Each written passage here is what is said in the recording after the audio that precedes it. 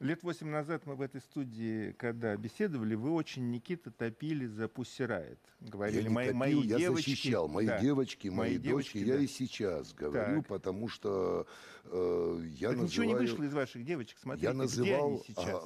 А, а что вышло из юродивых ну, что-то э, вышло... всех веков? Да, они ну, юродивые. Храм, я ж тогда говорил, что я защищаю девчонок, потому что они работают на уровне э, юродства. А вот тот же Павленский, которого да. мы упоминали, он идейный или он просто Идей. ради... Он иде... Какая у него идея? Он анархист?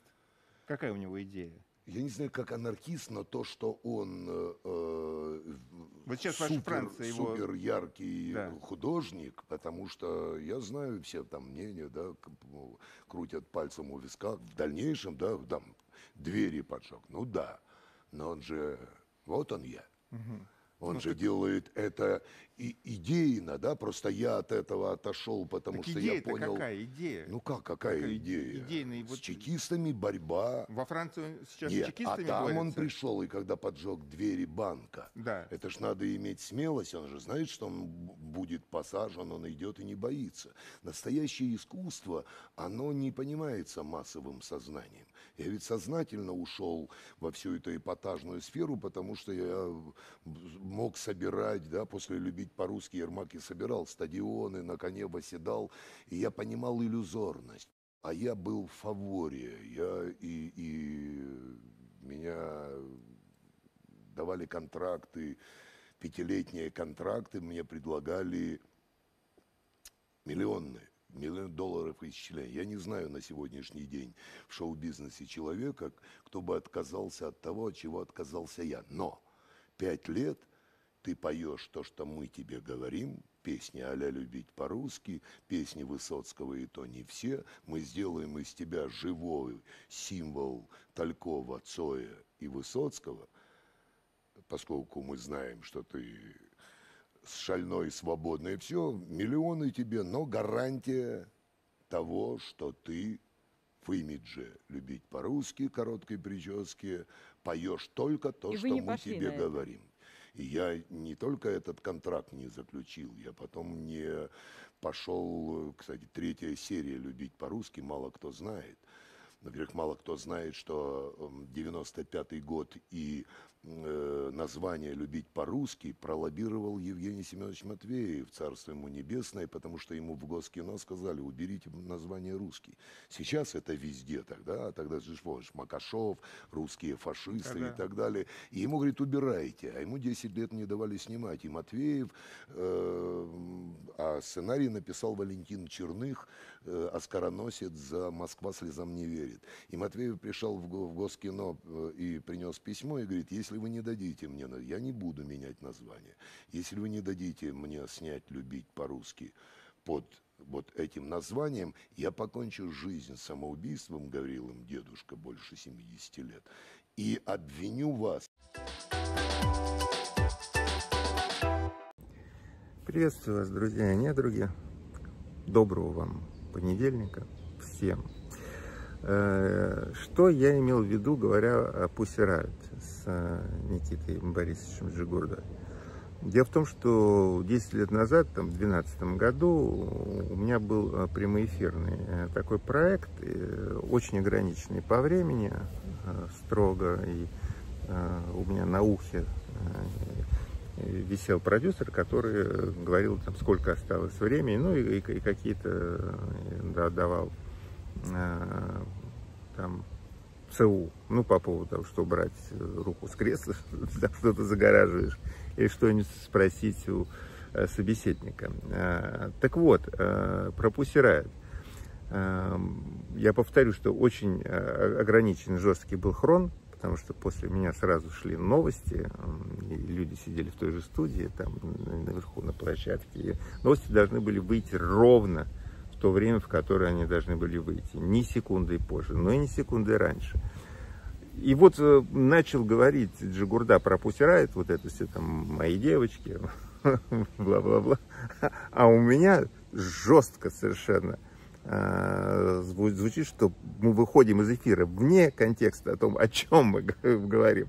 И получилось, что я Никиту э, оборвал на полусловие, и многие, конечно, восприняли это как, э, ну, такой какой-то цензурный фактор, что, в общем, я не захотел говорить про Пусирают, хотя мне, я, я с удовольствием на эту тему общался в тот период со всеми, потому что тем, тема была горячая, я, я свое мнение не поменял.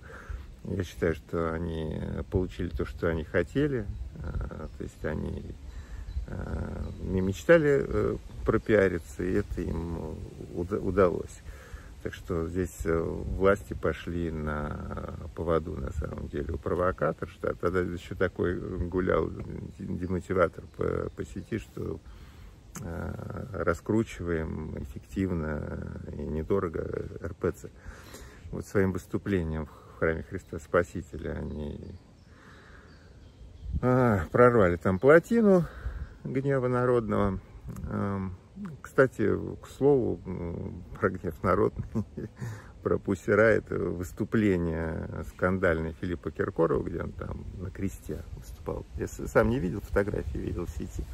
Вот сейчас это является э, мотивацией для отмены его сегодняшнего концерта в Анапе. Он в 8 вечера должен выступить э, на этом Черноморском курорте. Там собраны Э, подписи за отмену выступления вот мотивируют как раз там не только ЛГБТ там повесткой, не какую-то там качают пидарскую тематику, а именно то, что вот он, э, выступил а-ля Пусирают, но только не в храме Христа Спасителя, а на сцене. Это на минуточку. Разница большая.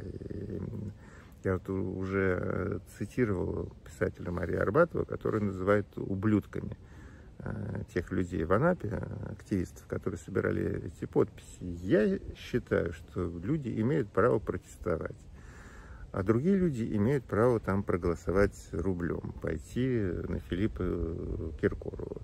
Киркоров, во всяком случае, неважно, искренне, не искренне, он артист. О чем мы говорим, о какой искренности мы вообще можем рассуждать. Но, во всяком случае, он Э, позавчера э, записал обращение, что он едет в Крым и будет рад видеть раненых бойцов спецоперации на своих концертах. Я считаю, это, это прорыв здесь э, надо поддержать, не, не давать оценки. Нет, опять же, давать оценки можно сколько угодно, что типа я ему не верю. Основные комментарии. Я ему не верю. Окей, я тоже ему не верю. Но здесь Э, ведь не это важно, а важно о том, что наметился определенный тренд в шоу-бизнесе. И э, люди тем самым показывают, что они остаются.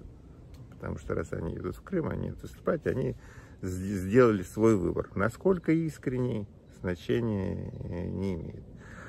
Вот, а дать Джигурды может любой. Что думает Никита Борисович по тому или иному поводу, я не знаю. Он заложником стал э, своего вот этого рычащего образа. А на самом деле, ну, как вы, наверное, и многие считаете, я надеюсь, не только я, мужик-то вот неплохой. Да и Киркоров отличный мужик. А Максим Галкин Он, наверное, хороший, хороший профи, мудак. Мудаком останется, даже когда он вернется. Он останется, вернувшись в эфиры, вернувшись на площадки российские, он останется мудаком. Просто о том, что он говорил, очень многие забудут. Э, народ у нас в целом не злобливый. И это тоже хорошо, что мы не превратились в Украину в этом смысле. У нас отсутствует э, гражданское общество, но как-то мы без него справляемся, пусть это наших врагов э, огорчает.